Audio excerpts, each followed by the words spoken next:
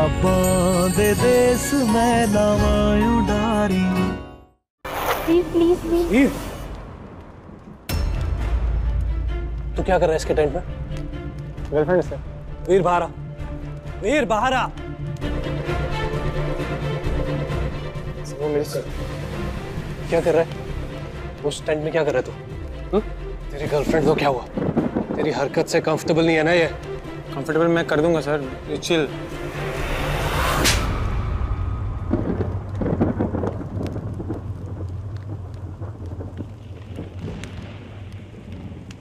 Comfortable होना ना होना इसकी मर्ज़ी है। तेरी गर्लफ्रेंड है, इसका मतलब ये नहीं तेरी प्रॉपर्टी है ये।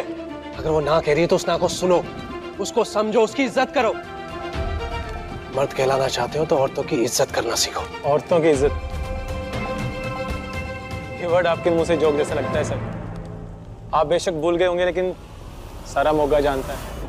आपने क्या किया अपनी वाइफ के साथ? एक बहन से शादी और दूसरी से फेयर